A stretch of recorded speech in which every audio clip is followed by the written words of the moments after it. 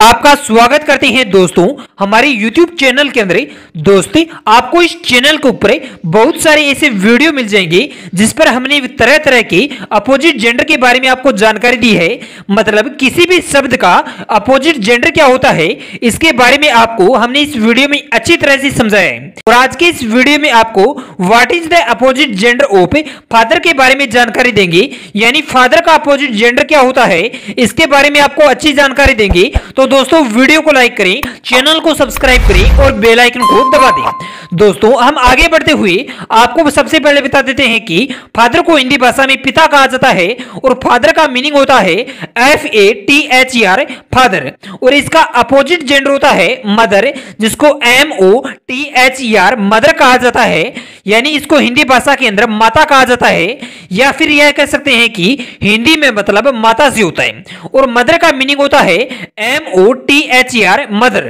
तो आगे से जब भी आपसे कोई पूछे कि अपोजिट जेंडर ऑफ़ फादर क्या होता है तो आपको इसका सही उत्तर करना है मदर और मदर का मीनिंग होगा M O T H E R mother तो यह जानकारी आपको हमेशा के लिए याद रखनी है, अगर आपको जानकारी अच्छी लगी, यानी आपको अपोजिट जेंडर ऑफ़ फादर के बारे में अच्छी जानकारी प्राप्त हुई है। तो दोस्तों, वीडियो को लाइक करें चैनल को सब्सक्राइब करें और बेलाइकन को दबा दें।